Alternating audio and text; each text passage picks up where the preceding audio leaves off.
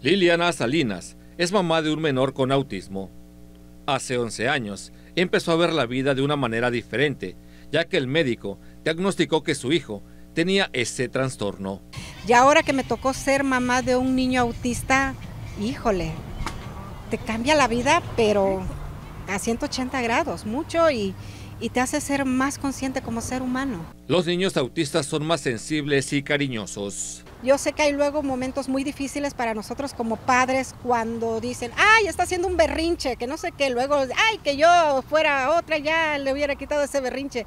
Y hay veces no es eso, sino que eh, el niño está teniendo una crisis. Como mamá autista, apela a no estigmatizar a las personas con esa condición.